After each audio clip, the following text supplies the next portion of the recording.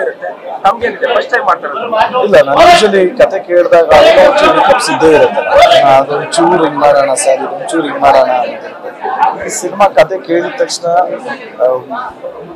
Clean bold ಅಂದ್ರೆ ಅಷ್ಟು ಚೆನ್ನಾಗಿದೆ. ಇದು ಈ ಸಿನಿಮಾಲಿ ಸ್ಪೆಷಾಲಿಟಿ ಏನು ಅಂದ್ರೆ ಇದು ಈ ಸಿನಿಮಾ ನನಗೆ ಅಂತ ಮಾಡಿಲ್ಲ. ಈ ಸಿನಿಮಾಗೆ ನಾನು ಅಂತ ಹಾಕೊಂಡಿದ್ರೆ.